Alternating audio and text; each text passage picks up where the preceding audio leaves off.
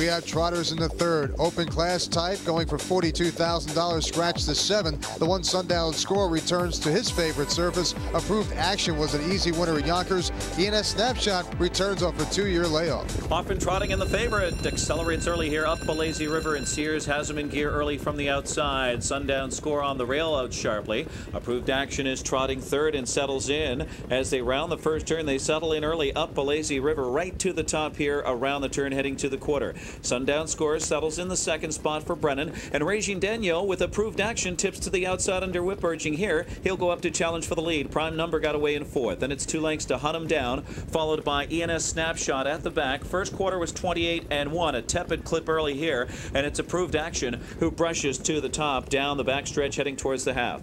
Approved action leads the way. Trotting up front here. Up a lazy river now in the second spot. And an anxious second at that. It is Sundown Score trotting in third. It's prime number fourth on the inside. Pierce has a tight rein on that one. Hunt down is fifth, followed by ENS Snapshot, who bides his time sixth. And they're single files. They trot past the half mile.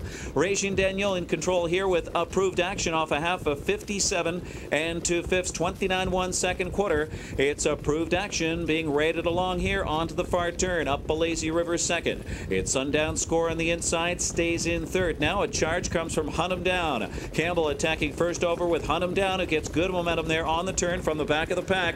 ENS Snapshot is tracking that cover. He's now fourth on the outside. That leaves Sundown Score locked in fifth, and to the outside goes Prime Number. And now they are heads apart past three quarters. Approved action. Pouncing on him is Hunt him down. ENS Snapshot looms large on the outside. Up a lazy river needs room from the box. Three quarters. 127. They trot for home.